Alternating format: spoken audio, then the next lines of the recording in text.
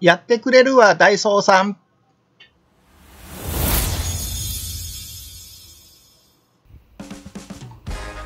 皆さん、こんにちは。今回もご視聴ありがとうございます。今回はですね、ダイソーさんのヘッドライトクリーナーを入手しましたので、私のリーフの黄ばんだ部分をどのぐらい綺麗になるか検証してみましたので、動画にさせていただきました。よろしかったら最後までご覧ください。付属しているものは、ヘッドライトクリーナー本体ですね。コンパウンドになってます。それと、あとウエス、白いウエスが2枚から、青いですね、この硬いスポンジですね。これを、にウエスを巻きつけて、このようにですね、縦、横、縦方向、円を描かずに、あの、縦と横と交互に擦るような感じで、軽く、軽く当てて擦るような感じで、まあ、こま、こまめにですね、あの、拭きながら、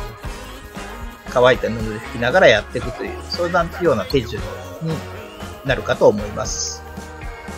ちょっとスマホ片手でスマホを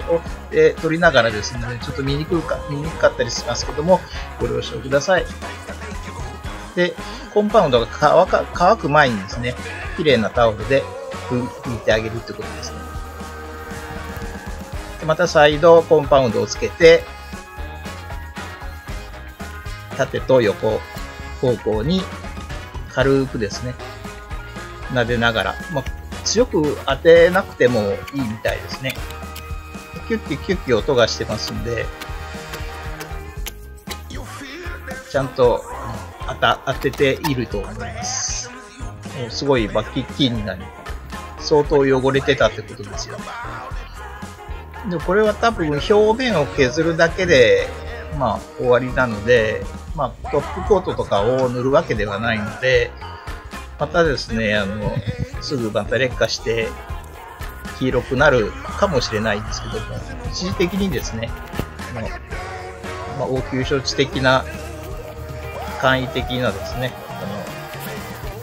の、処置はできるということですね。もうそんなに力を入れずにやってもですね、まあ、キッキーになりますので、ウエスがですね、まあ、キッキーになりますので、表面が削れてるかと思います。まあ、200円でしたのでね、まあ、ダメ元でって感じですけど、まあ、一応、フルキットになってますので、あとか、乾いた布ですね、を用意すれば、あの、まあ、承知ができるということですね。これをですね、数回繰り返しました。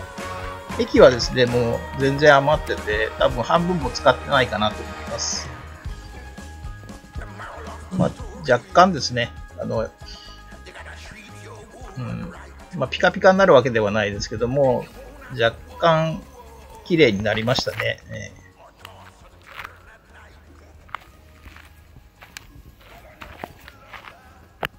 で、こちらの方は試しにやってみて綺麗になったので、あこれは動画にしなきゃと思って、まあ、急いで動画にさせていただきました。処置前と処置後のね、写真がありますので、比べてみると、やっぱりあの、良くなってると思います。